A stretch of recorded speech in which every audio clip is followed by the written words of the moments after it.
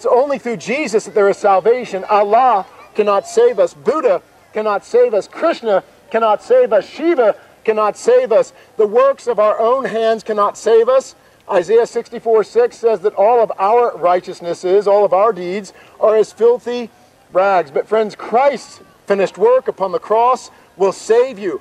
As Jesus hung between God, holy, holy, holy, and mankind, sinful, he said this It is finished. Then he bowed his head and he gave up his spirit, my friends. The Lord Jesus bowed his head and he gave up his spirit. He was buried for three days and he rose again, conquering sin and death. And in Jesus Christ there is forgiveness.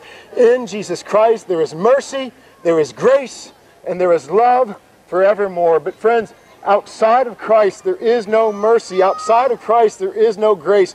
Jesus alone is the one mediator between God and men the man Christ Jesus. Jesus is that narrow gate, that narrow path of life that few find, it says in Matthew chapter 7. The broad path that leads to destruction is wide, and many go thereby. Friends, look to Jesus Christ and live. You see to my right the sign that says Jesus didn't reject people, neither do we.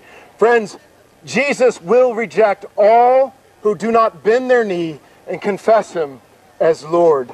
There is salvation found, says Romans 10:9, to all those who confess Jesus Christ as Lord and believe in their heart that God has raised him from the dead. There is mercy, there is grace, and there is kindness through Jesus Christ. But friends, it's only through Jesus Christ. And we don't define sin, God defines sin. And my friends, homosexuality is still sin. No matter what the Supreme Court says, no matter what our own sinful hearts say, homosexuality is still sin. But friends, the love of God, the love of God is this, that He will save homosexuals, He will save sodomites, He will save heterosexual fornicators, he will save adulterers, he will save thieves, he will save murderers. God sent his son to save sinners. But friends, we don't define sin. God defines sin.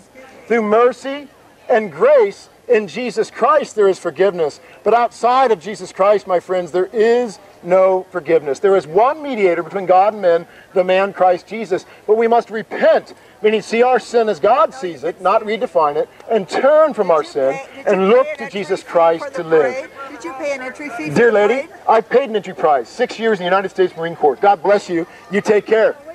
The United States of America is the freest, safest nation on the planet. And there are certain constitutional rights, one of them being free speech. And this dear lady, while wearing an American flag visor, wants to suppress free speech. But friends, one of the things that makes America great, one of the things that makes